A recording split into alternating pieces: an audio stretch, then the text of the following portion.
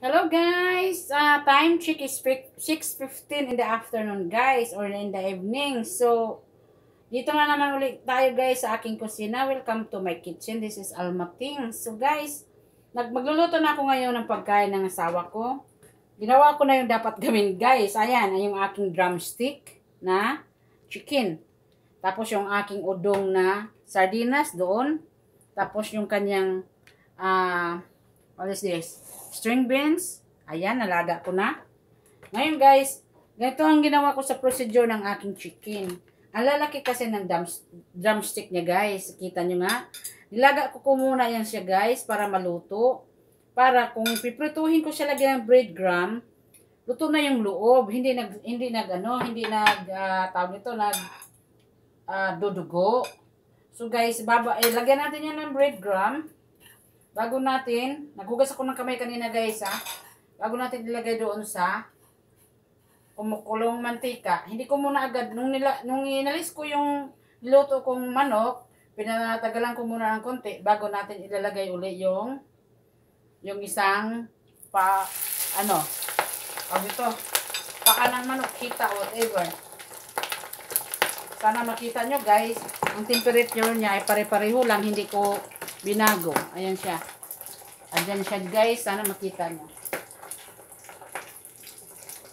So, lutuin ko na ito lahat. Woo! Ayan, kung, kung, kung ano. Pumutok. Woo, daw. Woo. Sumigaw ang inyong lingkod na nagluluto. Oh, woo! Woo! Ano ba yan? Tapos, itresa. Mmm.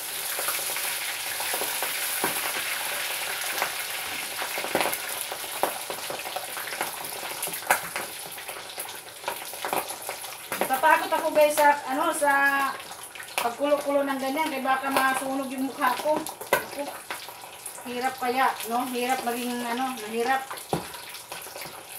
Tulagyan natin yan ng takip mamaya guys. Meron akong takip dyan. Ayan, no? Mali na siya.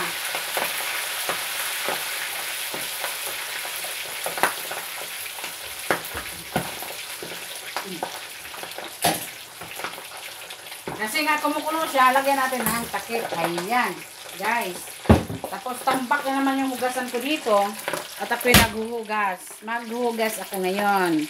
Ayan. So, ito pala sa aking eggs na, ano guys, nilagyan ko ng dalawang itlog, paminta at a little bit asin. Tapos yun namang breadcrumb ko, pan ko. So guys, dito ko lang i-end yung vlog ko. Sana nag-enjoy kayo sa aking niluluto. Tingnan mo yung drumstick, oh, lalaki, oh. Sana guys, nag-enjoy kayo. Love you very much. Bye for now. This is Alma Carmen. Guys, ano sasabi sa inyo?